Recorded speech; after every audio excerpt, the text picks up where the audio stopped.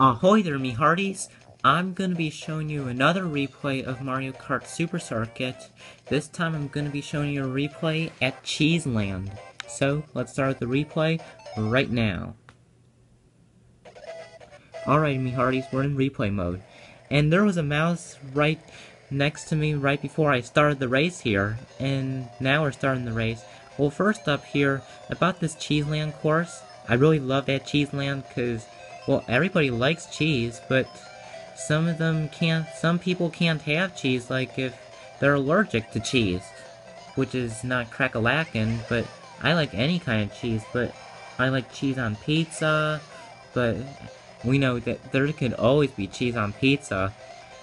But also, um, okay, so first up here about the Cheeseland, it takes place in the nighttime because you see the moon there, um, but in the Mario Kart 8 version, when it returned, it actually takes place in the daytime.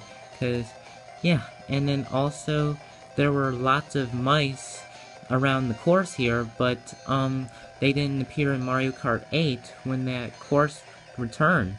And I also like to tell you, there was a chain chomp in this section here, but they didn't have this in Mario Kart 8 either. And I got slipped by a mice again, but then I got hit by Donkey Kong, and I was like, thank you, Donkey Kong, for stop unspinning me. And then also, I got slipped by another mice.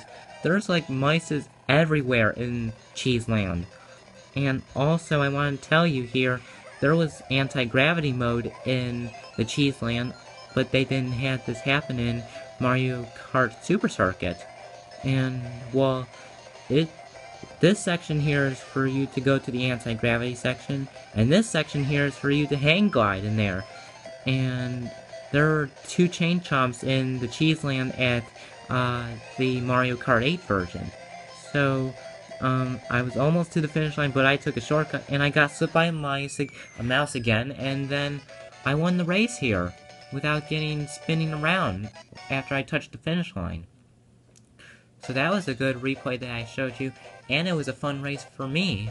So thank you all for watching, leave a like, a comment, and also subscribe to my channel.